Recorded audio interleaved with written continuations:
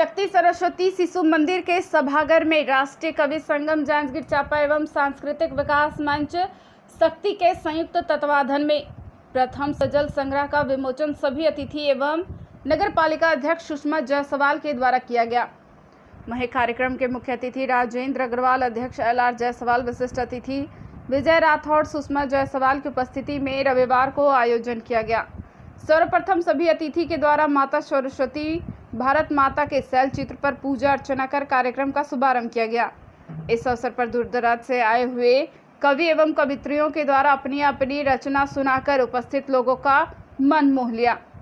सुषमा जायसवाल ने कहा कि भारतीय संस्कृति की धारा कवि अपने सुर में कविता के माध्यम से लोगों तक पहुंचाता है और कवि में ऐसा गुण रहता है, वह हर व्यक्तियों के चेहरे पर मुस्कान ला देता है। कार्यक्रम में संभाग सहित जिला स्तर के कवियों ने भाग लिया। इस अवसर पर नगर सहित ग्रामीण अंचल के महिला एवं पुरुष काफ़ी संख्या में उपस्थित थे। कविताएँ पढ़ना मेरा शौक बचपन से रहा है। वैसे मेरी कल्पना नहीं थी कि मैं लिखने भी लगूँगा, लेकिन कुछ हमारे आदरणीय महानुभावों के विद्वान कवियों के संपर्क में आने के बाद मेरी फिर से कविता लेखन की जागृति प्रवृत्त हुई और मैंने अपना प्रथम सजल संग्रह, अवसर नहीं प्रतीक्षा करता, यह मद्रास से प्रकाशित करवाया। और आज उसका विमोचन और लोकार्पण हुआ।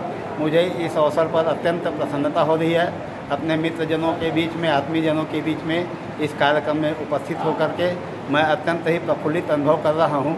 और मैं ये चाहता हूँ कि मेरी पुस्तक को लोग जो है पढ़ें, जो साहित्य जो है कागज़ के कारागार में काले अक्षरों की श्रृंखला में कैद है, उसको पढ़ करके वे आज़ाद करें और यही इस पुस्तक का मूल्य होगा।